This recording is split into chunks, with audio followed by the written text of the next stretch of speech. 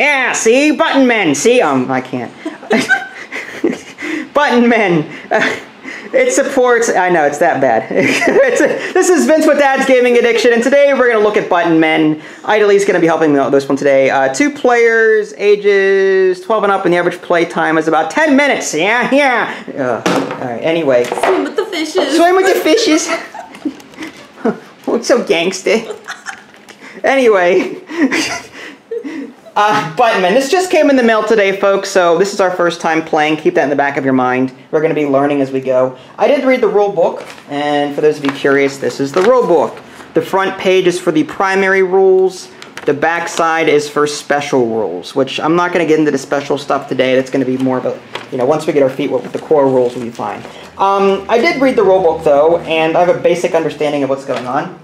Basically, uh, you choose a character, and you roll dice and you try and capture enemy dice to score points.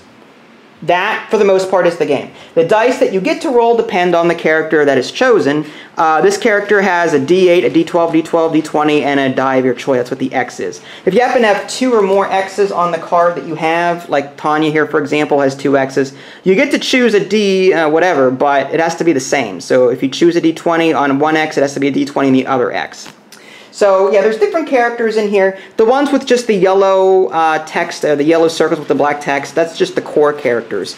The ones with the special abilities are the ones with like the blue shadow die, or there's the orange rush dice, and I think there's a green one in here somewhere. Yeah, poison dice. They operate, they, they basically break the game a little bit and have players operate a little differently. For example, poison dice, uh, normally you get points for capturing opponent's dice, but uh, you actually lose points for capturing a poison die.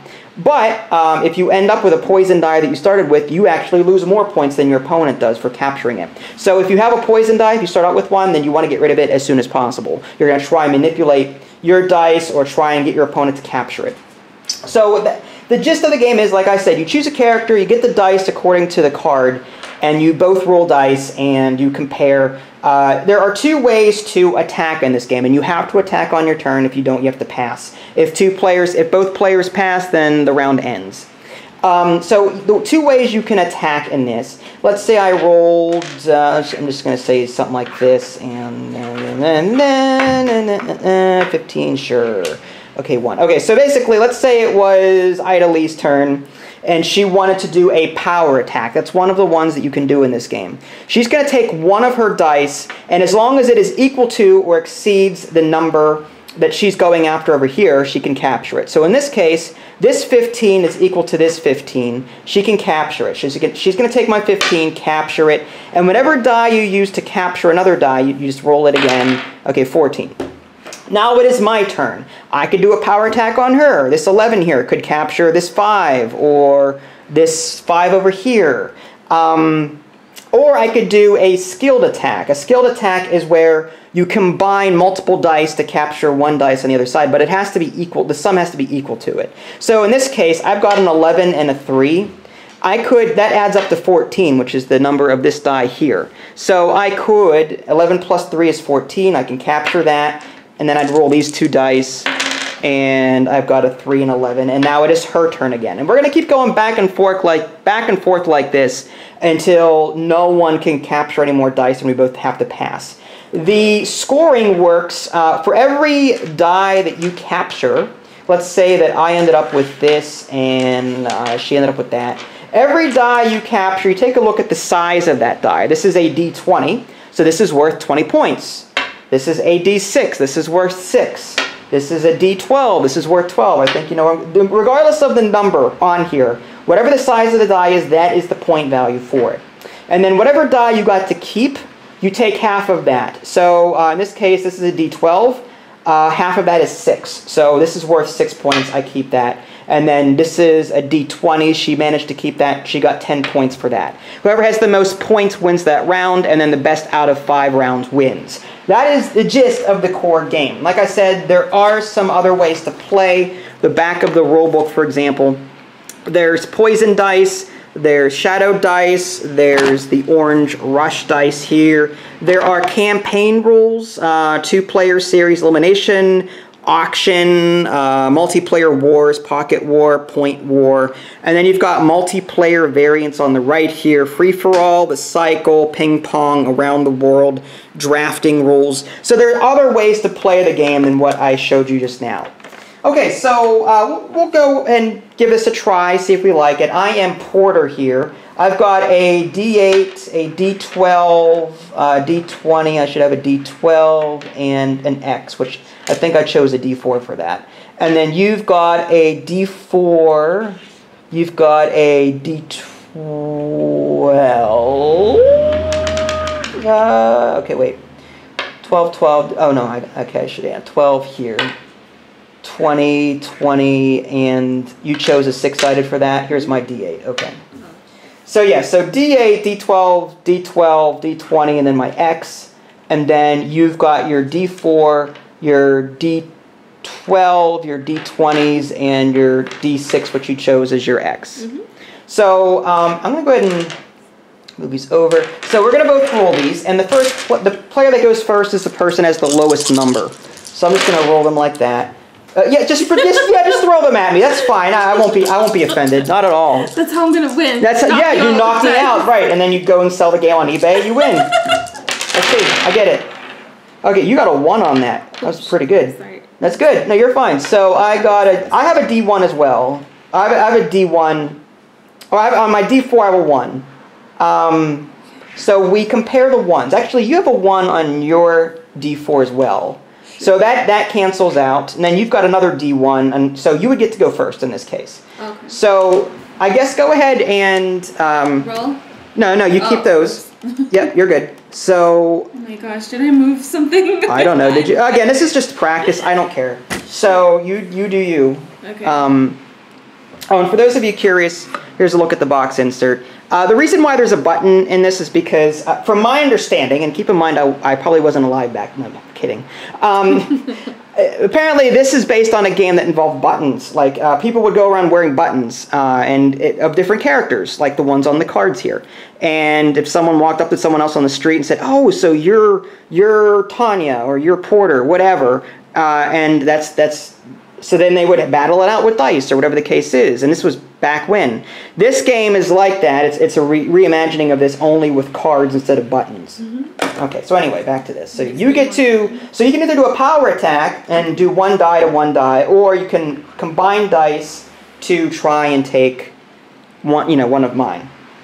Uh, So, again, I, I don't know the strategies of this game yet, but the way I would do it is I would try and capture my large dice because they're worth 20 points. Uh, it's like 20, and then you've got the d12s here, which are 12. um, when you do a skill attack, can you use more than one? Yes. More than two dice? Yes, as many dice as you want to add up to the number that you're looking for. Okay. So you've got like 2, 1, 1, that's 4. You've got an 8 here. So you could 8, well, hmm. Yeah, whatever you want to do. I mean, a 12, 8. So you could do 8, 2, 1, 1 to capture this 12, and then re-roll those other 4. Whenever you capture dice with dice, you re-roll the dice that you used. Yeah. All right. Um.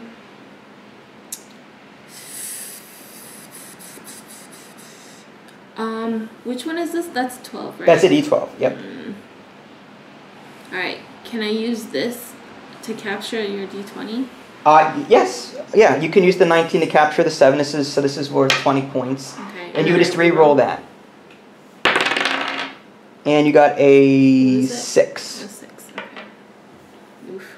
It's fine. And so now it's your turn. now it's my turn. So I'm going, so I'm basically I'm going to look at your dice and try and figure out what can she use to capture my dice. I'm going to try and force a pass on you if I can. Like, I know my 12 is in danger. Um, my 7, well, your 8 can power attack any of these really. So, but I want to safeguard these if I can. So, all right, I'm going to do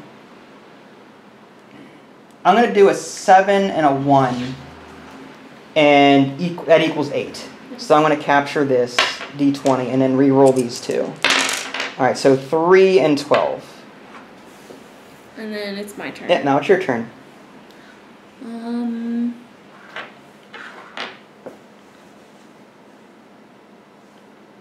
It's a three. Can I use this mm-hmm. to capture that? the, the six? The, the oh, the, the three? Yeah. You can, if you want to. It's up to you. Now, keep in mind, well, do you have anything to capture the 12s? You have a six, two, one. No, so you don't have enough. I could capture this. You could capture the 8 Okay. with a 6 and a 2. Or you could use the 6, 1. You can re-roll the 1 if you Mm. want. That Because the 1 is easily capturable right now with Oh, power. is it? Oh, well, because yeah, of the power is. attack. Oh, that's right.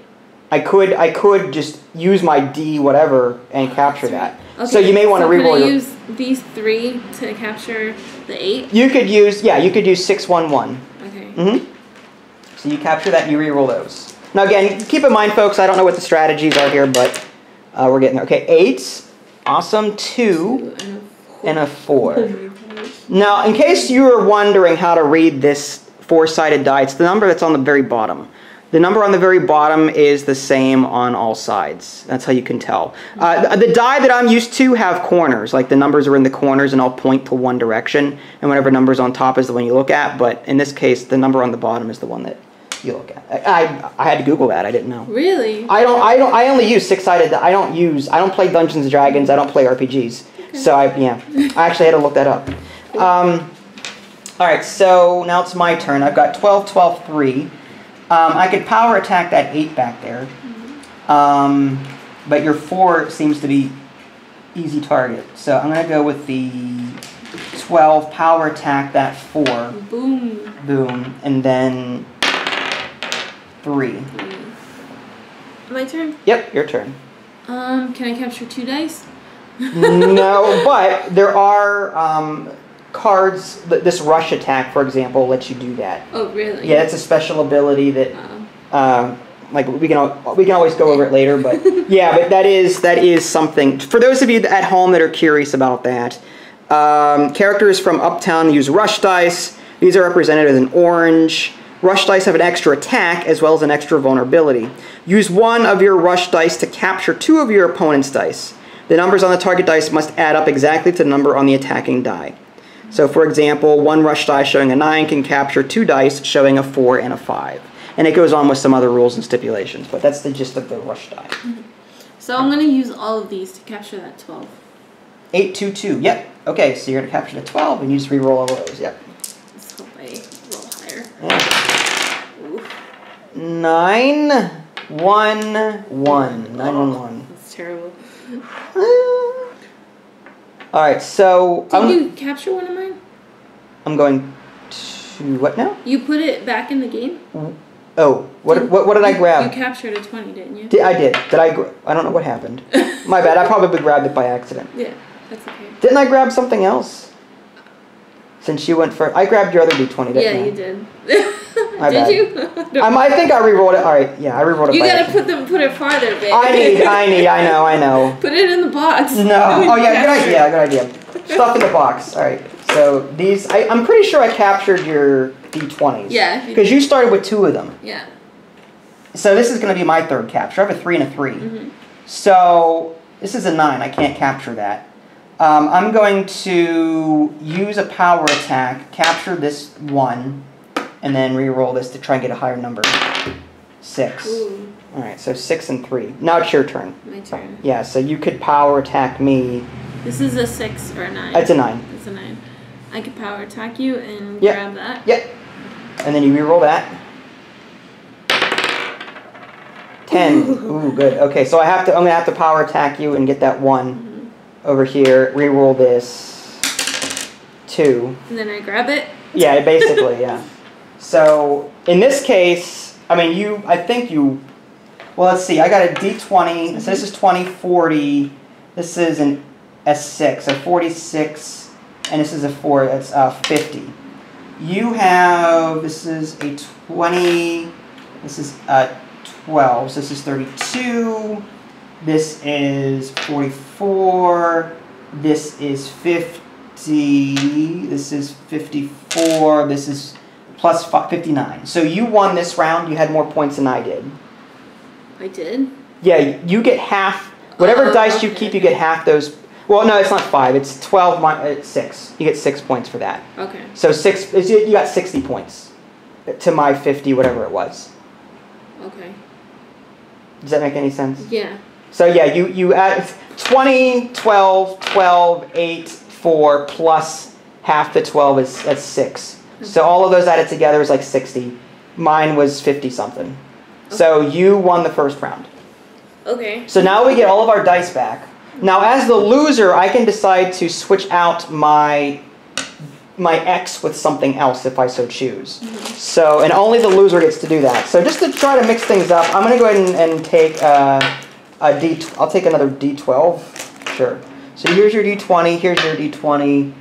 Here is I should have a D20 here somewhere. And then I get a D12. I get a D8. You get a D4, a D6, uh, D8, and D12. Okay, so these are your dice. Okay. These are my dice. Nice. So we'll do another round. See. So you get to roll two. Look at you. You got a one. So you get to go first. I don't have a one. Five, five, three, one, eleven. Okay. So I get to go first. Hmm? Oh, mama. I probably messed up the dice. I mean, I, prob- I don't know if I used your dice by accident, the ones I captured, to capture yours last round. So even if I, you still I won. don't. I don't think you did. Okay, I just grabbed them by accident. Yeah. Probably. All right. Well, you won anyway.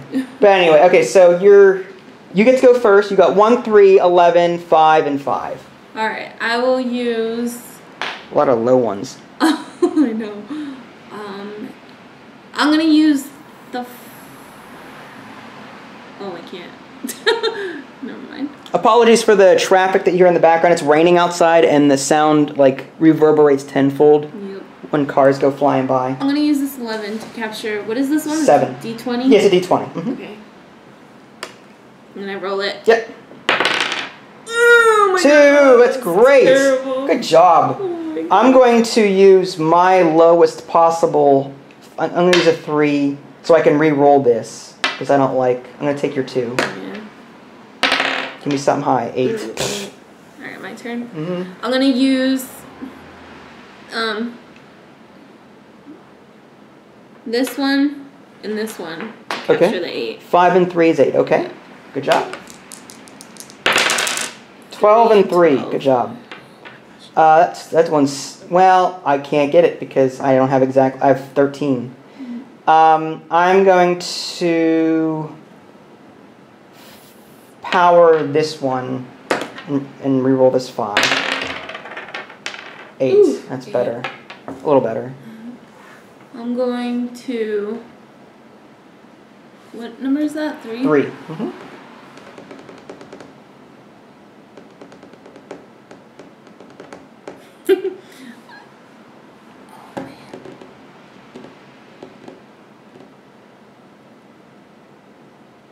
Can I use this to capture it? What is it? Three? Yeah. hmm Yes, it has to be greater than or equal to. So yeah, you can Yeah. that. Just cause. I'm Just gonna- 'cause. I want to see what happens. Makes sense. Three. Three. Good job. All right, eight and five is thirteen. I'm gonna have to use my five to capture this six-sided die. Although I probably might have gone for the, well, having gone, I should have gone for the one or the the higher number over here. But all right, this is a nine. okay. um. So eight, nine, and then you're three and twelve. That's a twelve. These are both Both 12 12s, uh-huh. Okay, I'm gonna use this to capture. Um. That one. Okay, cool. And then you have to re-roll your 12. Yeah. Give me something 8 or lower, 8 or lower, 8 or lower, 8 or lower, 8 or lower, 8 or lower, 8 or lower, 12! I gotta capture this. Re-roll this. Give me. Oh, it doesn't matter what I roll, we'll take it. 11. Oh my now I roll gosh. high. So now you, you I capture that. capture it. Yeah, so you. you won this one. I'm not even gonna bother Are you adding. sure? No, I'm no, pretty I sure. might have lost. No. no, no, no, no. You're trust me. You've got a 20. some- You know, you're good. No, you got my twenties too, though. I got 120. You got a. You kept a 20 and you scored a 20. This one. Oh, okay. You're good. You tr- you won. Okay. You won. You got it. Um, So yeah, that's the game, really. I mean, it, well, the core game. Like I said, there are other ways to play in the back of the rulebook. Um, the poison dice, like I said, you're trying to capture, or you're trying to push those poison di- dice off onto your opponent so that you don't get left with it. Anything that's left, if you have a poison die and you get left with it at the end of the round, uh, you lose equal to the point of that die. Um, so if it's a D8, you lose eight points. Whereas if you give it to your opponent, uh, they only lose four. So it's better for the player with the poison die to pass it off as quickly as possible. Otherwise, they lose more points. So yeah, there, there's many ways to play this game.